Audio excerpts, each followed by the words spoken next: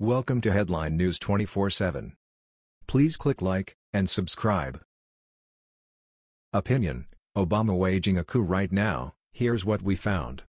The very president who once stated he wanted a citizen militia controlled by the president and not the governor of each state is today waging a coup against the United States and her duly elected president.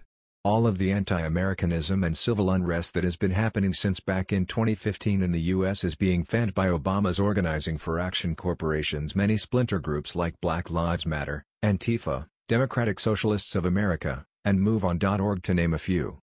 The street violence we have been seeing since Ferguson, the harassment of Trump employees and supporters, the savage push for open borders, the David Hogg GN confiscation movement after the Parkland SG which was was easily avoidable and against all things pretty much all thing American in general is a massive movement to destroy the United States of America as a sovereign constitutional nation from within. Here is more on this via Eagle Rising. Barack Obama is waging a coup against the USA via his loyal political activist groups. All of the anti-Americanism taking place in the U.S. today is by Obama's Organizing for Action Corporation's many splinter groups like Black Lives Matter, Antifa, Democratic Socialists of America, Move MoveOn.org, etc. The street violence, harassment of Trump employees and supporters, the push for open borders, the David Hogg GN confiscation movement, and against all things American in general is a massive movement to destroy the United States of America as a sovereign constitutional nation from within. Their New World Order vision of a borderless U.S., void of any form of national identity, governed by the United Nations via dictatorship, is their main goal. We see the anti-Americanism on a daily basis today, not only in demonstrations, but in the burning of the American flag at virtually every protest. Interestingly, these same anti-American factions destroying the flag, are the same Obama cabal that has been actively pushing for the removal of all things Confederate such as statues, names of schools, and names of some city streets, etc. Their excuse for pushing this is said to be out of disdain for the Confederates' prejudice idealism of black slavery and white supremacy which should have no place in U.S. society today, since the Union won the Civil War. However, since Donald Trump began his presidential campaign in 2016, they began to use the very same narrative against Trump and his supporters as they used in their efforts to abolish the Confederacy from the history of the U.S. Now they are saying socialism is the only solution to ending the prejudice against blacks, Hispanics, gays, and Muslims that is prevalent in the mindset of those who believe in nationalism, sovereignty, and are patriotic to the U.S. as an individual country. Thus, the cat's out of the bag of the true nature of their intentions.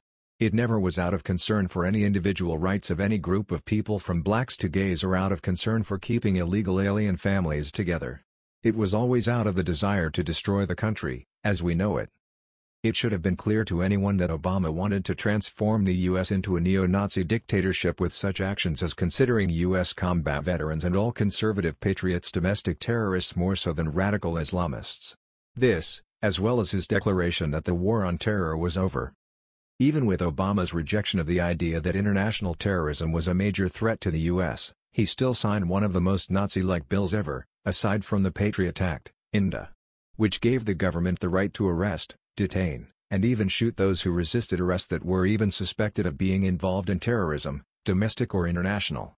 By signing DA, Obama either believed terrorism was a major threat, or he was using DA for use in future U.S. civil unrest he expected to arise when American patriots finally realized he was destroying the very fabric of their country and would begin a revolution against it. Which would have been the case, had the dictatorship's chosen successor Hillary Clinton won the election. What his signing did do was to legalize propaganda via the main media, which we witness as rampant today.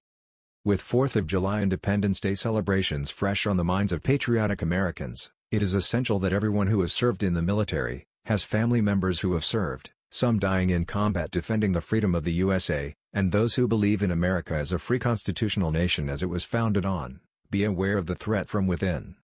We must recognize this threat by identifying those who perpetrate the destruction of our country. This being Barack Obama's army of Nazis rioting in our streets, their erasure of U.S. history, intimidation and harassment of conservative patriots who support President Trump, and those in office in Washington who also support this anti-American movement.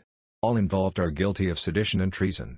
But what's perhaps even more dangerous in all this is the fact that the same anti-American factions which are actively trying to destroy America are the same Obama-supported groups that have been successfully pushing for the removal of anything Confederate from our nation.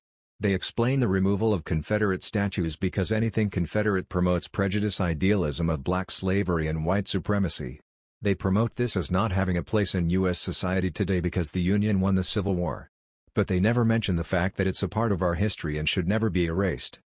This is what happens when a nation elects someone who had a questionable record, or no record at all.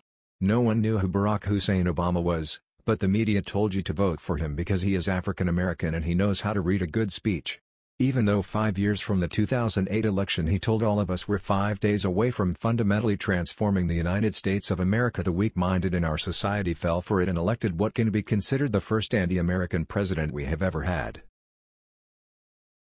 That was the news. We thought you might be interested in knowing about this. Please click like and subscribe. Thank you.